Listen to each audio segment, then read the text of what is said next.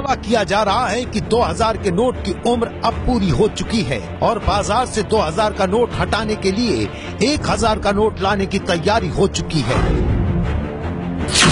बस, एक जनवरी आने की देर है।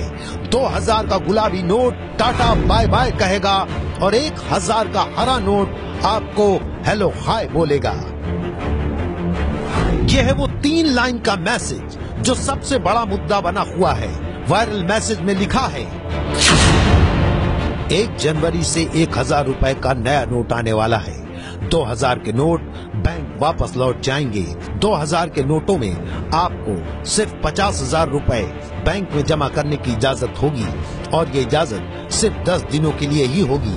इसके बाद 2000 के नोटों का कोई मोल नहीं होगा। इसलिए 2000 के ज़्यादा नोट अपने पास मत रखिए। इस मैसेज ने खलबली मचा दी है।